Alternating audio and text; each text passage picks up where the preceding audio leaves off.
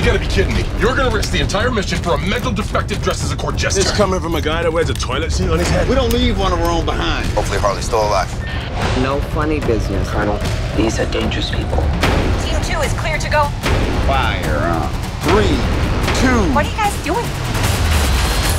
What? You, we're, we're here to save you. You were gonna save me? It was a really good plan, too. Well, I can go back inside and you can still do it. That's patronizing. I'm so sorry. Harley Quinn. Blood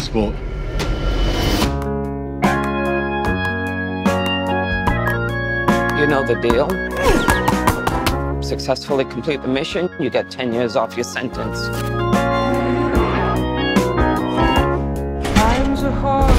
You fail to follow my orders in any way, and I detonate the explosive device in the base of your skull. So this is the famous Suicide Squad.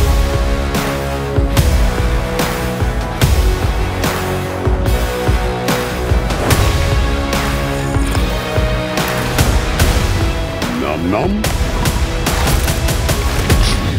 Any questions? Hand? Yes, that is your hand. Very good. we're all gonna die. I hope so. Oh, for fuck's sake. Here's the deal.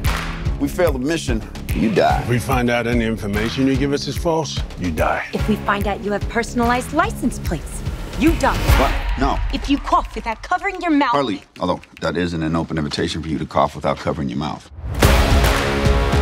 What's the plan? How the hell am I supposed to know? You're the leader. You're supposed to be decisive. And I've decided that you should eat a big bag of dicks. If this whole beach was completely covered in dicks, and somebody said I had to eat every dick until the beach was clean for liberty, I would say no problemo. Why would someone put penises all over the beach? Who knows why madmen do what they do?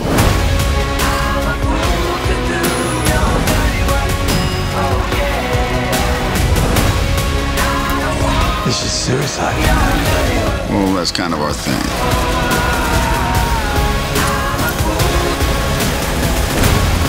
Don't you worry, eh?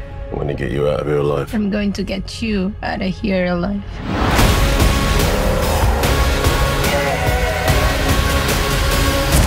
Oh my god, we've got a freaking kaiju up in this shit!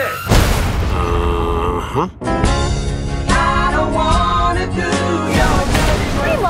It's like angels are splooching all over us.